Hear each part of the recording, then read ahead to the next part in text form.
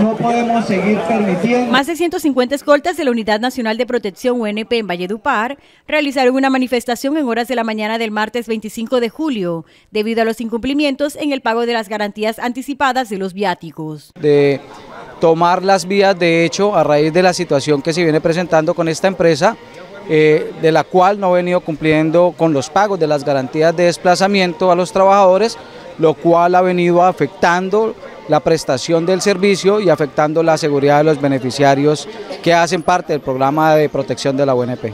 Desde las siete y media de la mañana se llevaron a cabo las protestas a las afueras de la empresa contratista UT Protección Cobas 2023, ubicada en la carrera 19D, número 4A 31, Barrio Callejas de la capital del Cesar.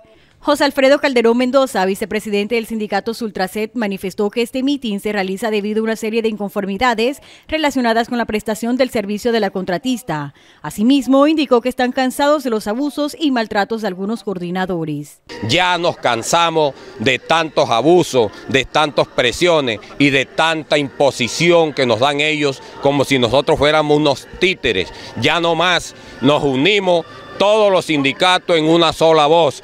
Por su parte, José Daniel Chalela, vicepresidente del sindicato Simproset, dijo que son varios meses de estar prestando el servicio esencial con esta empresa, pero las garantías para lograr no son las mejores. Nuestro, la conformidad que tenemos nosotros es conforme al desplazamiento, porque como decía otros compañeros, tenemos cinco meses prácticamente, cuatro meses de, de, estar en esta empresa y nos adeudan. Y otra cosa, liquidaciones tras liquidaciones, también otra cosa que nos adeudan. A estos motivos se le suman el no pago de los auxilios de transportes a los escoltas que cumplen con sus comisiones de relevos en otras ciudades. Adicionalmente, miembros de los sindicatos señalan que dentro de sus inconformidades también está el mal servicio de la administración que está prestando la empresa. No contamos con una oficina de gestión humana aquí que atienda los requerimientos del personal operativo.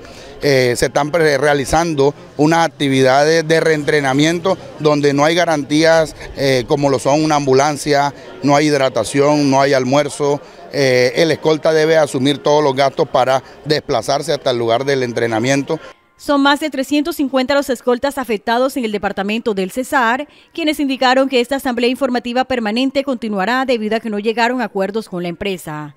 Luis Rodríguez, presidente de la Asociación Nacional de Trabajadores de la Seguridad ANAL 13 Cesar, indica que a la jornada no asistieron funcionarios del Ministerio de Trabajo Territorial Cesar, de la Defensoría del Pueblo, ni tampoco delegados de la UNP, por lo que afirmó que realizarán un cese de actividades.